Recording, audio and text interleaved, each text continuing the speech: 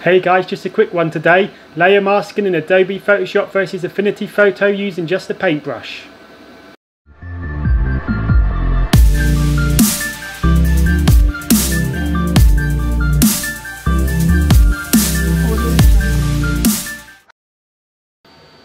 Okay, so we've got Adobe Photoshop Affinity Photo open with the same image and this is just a demonstration really of how both software packages are very similar. So there's two ways of doing this. We've got the new modern way which is to select the object selection tool in Photoshop and just draw a rectangle over the desired area. On this particular image, because the background is mainly blue, it, it's quite accurate at um, selecting just the draft. Okay, so now if we was to do the same in Affinity Photo, we would use the, the selection brush tool. Right, so with this one, it's works slightly different. You just loosely draw over the areas you want to select. And again, because it's on the blue background, it's uh, nice and simple. But should this be a bit more complex and we want to uh, do it by hand, we can use the paintbrush tool.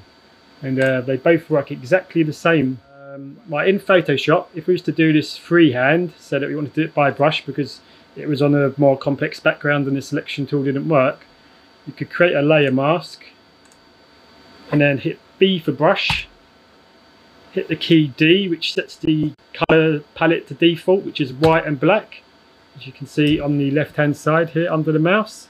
Right, there's a simple rule for masking and that's white reveals and black conceals.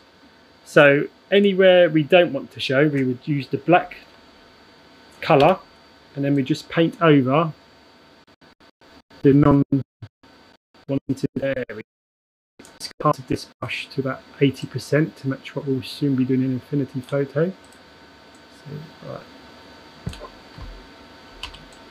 Just using the arrow keys to resize the brush as well. Yeah, just going to do this very loosely freehand.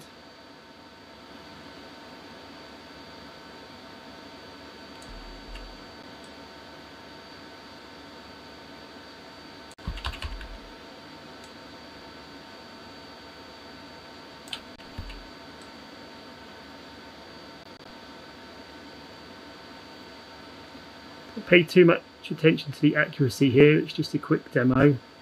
If you're doing a proper job, I'd expect it to take a bit longer.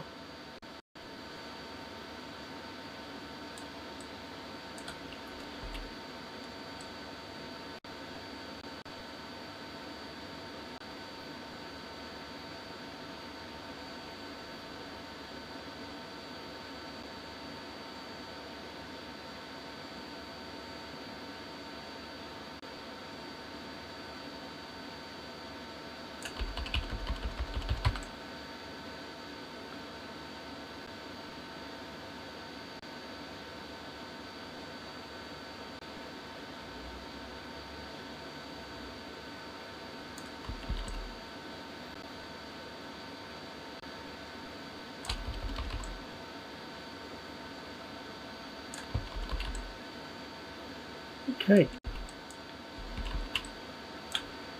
So that's done on the draft in Photoshop. Now, for Affinity Photo, it is literally exactly the same. You've even got the same keyboard shortcuts. So we'll just unlock that, click the layer mask tool again, hit B for brush. Yep, same as Photoshop. And you've got the palette on the top right here. And it's again, it's white reveals and black conceals. So we'll select the black color. Then we'll just paint over the paintbrush.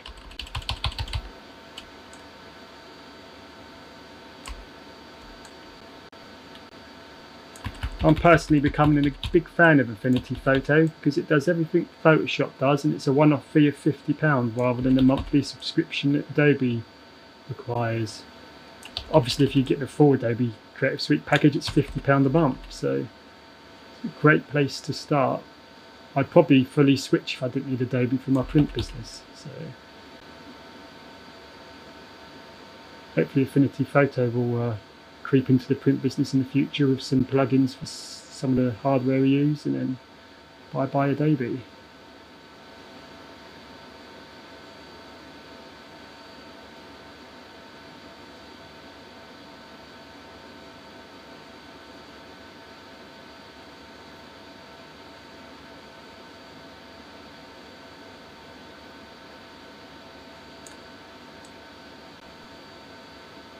Huh?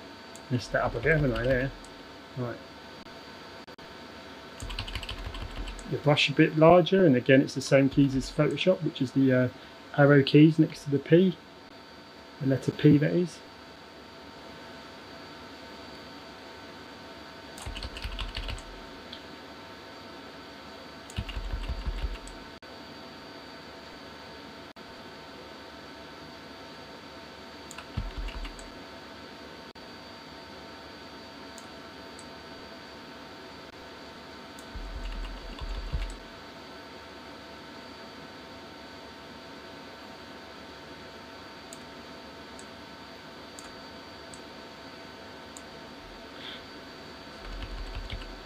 And voila, that's it.